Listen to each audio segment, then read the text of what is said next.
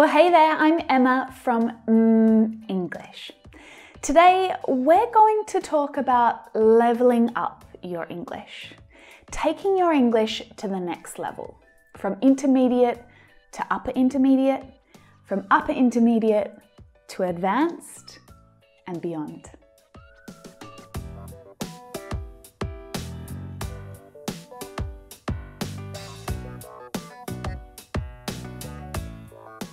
We can all agree that becoming fluent in a language has its highs and its lows. Some of you are further along in your language journey than others. Some of you spend more hours practicing every week. And some of you work harder than others to improve your English. Am I right? But I've got a question for you. Do you feel like you've reached a point in your English where you've plateaued? You've made lots and lots of progress in the past, and now it feels a bit flat. Your progress has really slowed down, you've lost energy and momentum. You're not improving as quickly as you want to, but perhaps this is how you're feeling right now. The feeling of being stuck with your progress is really, really common. Most language learners, regardless of the language, they can relate to this feeling. But what we need to do together is push through from intermediate level to upper intermediate to advanced fluent English. But how are we going to do this? Well, I've got a few useful tips to help you push through and keep climbing that mountain. But before we get started, if you have a friend who's been feeling miserable about their English progress and you think they would love to level up with you, then please share this video with them too. It's always good to have a friend with you to keep you accountable and to practice together. Tip number one, expand your vocabulary. Expand it, make it bigger, wider, broader. This may seem like a really obvious tip, but it can be really, really easy to get stuck using the same words over and over and over again. It's what's comfortable and it's what's easy. And hey, if you can communicate your message in English, do you really need to learn more? Well, if you're happy with your current level of English, then maybe not. Maybe what you've got is perfectly okay. But if you want to take your English to the next level, then you do need to improve your vocabulary range, which can seem like a bit of an overwhelming task. Where do you start? Actually using the new words that you learn is the key to acquiring new vocabulary. So make the new words relevant. Make sure you use them. Look for interesting new practice materials, new shows on Netflix or TED Talks or different podcasts. Our world is so full of information and opinions and ideas, and most of them can be found at any time in your pocket. Look for new interesting content always. Don't get stuck watching the same shows, listening to the same things over and over again. If you love talking about food, don't just watch cooking shows, but search for podcasts where people are discussing topics and issues about food. Or even better, join online groups or communities that discuss ideas and trends about these topics daily. Even if you're not ready to participate in these discussions, in these groups, you can see what other people are talking about, what they're chatting about. This is an endless supply of new ideas and words and topics, and they're real, they're current, relevant conversations that will help you to keep motivated and interested in learning and practicing your English. You won't even notice that you're studying. So tell me, what topics are you most interested in? What conversations do you love to have in English? Can you add them in a comment below this video? Who knows? I might even be able to recommend an online group to join about this topic, or perhaps someone else who's watching might even be able to recommend one for you. Now, I shared some tips on learning new vocabulary in this lesson right here.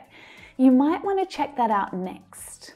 But before we move on, when it comes to vocabulary, as you're watching a YouTube video, take notes of the new words that you hear. Turn on the subtitles and rewind the video a little so that you can really understand how the words are used. By the way, I write all of my own subtitles on mm, English lessons so you can see exactly what I'm saying if you ever need to check the subtitles. And you can turn them on just down there. Okay, next tip. Get used to different English accents. Now, hands up if you've ever experienced this situation.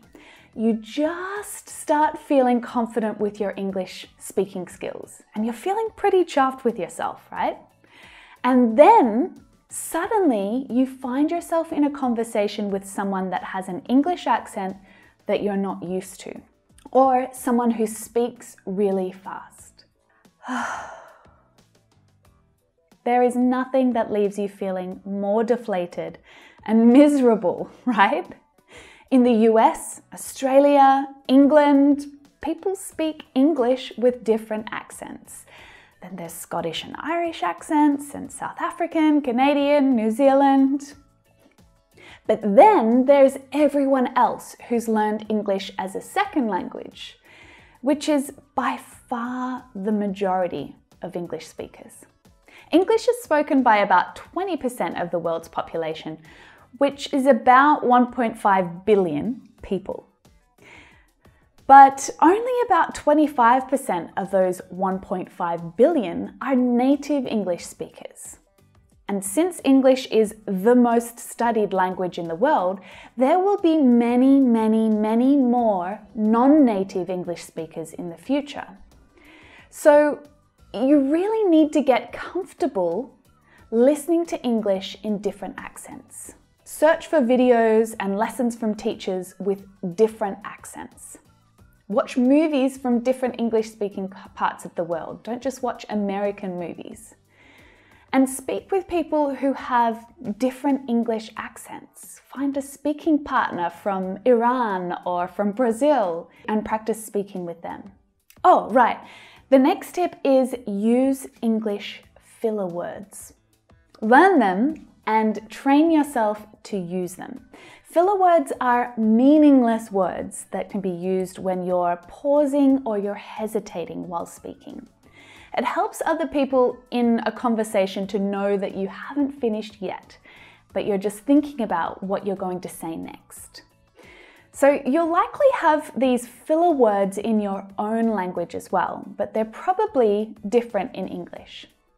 Okay, um, well, uh, right. Uh, basically, you see, I guess, like, I mean, you know, pausing or hesitating in conversation is normal, especially when you need an extra moment to think about what you're going to say next. And since we use filler words without actually really thinking about them, your instinct or your habit will be to use filler words from your native language. But instead, I want you to think about these English filler words, and next time you can't think of a word, try to use them instead. Try to get into the habit of using words and sounds that are natural in English. Now, it's important not to overuse these filler words. For um, example, I actually like literally um, sound totally uh, you know, awful, try not to do that. I sounded really unsure and confused and not very confident then when I was speaking. But when used correctly, filler words can actually help to join your thoughts together and make your speech flow a little more naturally. I mean, if you think about it, filler words can be, well, well, they can be really helpful sometimes. Uh-huh, phrasal verbs. Now, English speakers use tons of phrasal verbs. You'll hear them everywhere, especially in spoken English. Phrasal verbs are really, really common. But they're a nightmare to try and learn, aren't they? Phrasal verbs are a verb followed by a preposition or an adverb. And together, that creates a new meaning, often a completely different meaning to the original meaning of the verb. Now, I've got a whole playlist up here about phrasal verbs with tips to help you study them and use them. So definitely check it out at some point. But let's look at a few examples right here. Please come in. Please come up with the answer to this question. Please come forward with any information that you hear about the crime. See what I mean? These three sentences have totally different meanings. Come in means something different from come up and something different from come forward. And all of those meanings are different from the original meaning of the verb come. Now, we know that phrasal verbs are tricky to learn, and it's so, so important that you're learning them in context. So, what's my recommendation? Set a goal to learn and to use one new phrasal verb every day. Just one. Train your tongue. You can have perfect listening skills and perfect grammar, but if you can't communicate your message clearly with your mouth and your tongue, well, it's really difficult to feel positive about your speaking skills. Good pronunciation is definitely one very, very important part of pushing your English to the next level. Now, think about it this way. If you want to improve your arm strength or your leg strength, what do you do? You exercise. You hit the gym, you work out. We train our muscles to be stronger.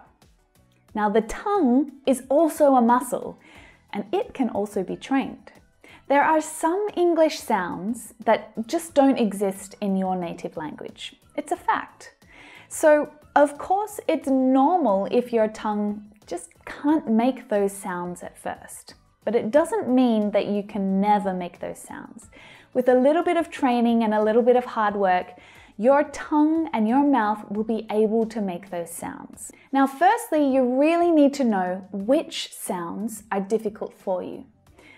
Which are the sounds that you really need to practice? Maybe the TH sound. Maybe the ch sound is really hard for you. And perhaps you say chicken instead of chicken. So find video lessons that focus on the sound that you need help with and study it. Then choose a word that has that sound, a tricky one, right? And say it over and over and over again. Squirrel, squirrel, squirrel, squirrel, squirrel. say it until you can't say it anymore, until your tongue is really tired. And it will feel tired, just like your stomach's going to feel tired after you do 100 sit ups. But better still, what if you practice pronunciation while you were exercising? Hmm. Sixth. Sixth. Sixth. As you train your tongue muscles, those tricky words and sounds will become easier and easier to make. It just takes a little practice, consistent practice. So, they're my tips to help you level up in English. And I want to know if you've got any others that you want to add. Please share them in the comments below. If you're an advanced level English learner, how did you push through the difficult times? The times when you almost gave up? How did you take your English to the next level? Can you share any advice with the other English learners who are here watching today? Here are the links to some of the lessons that I talked about during this video. So I'll see you in the next lesson.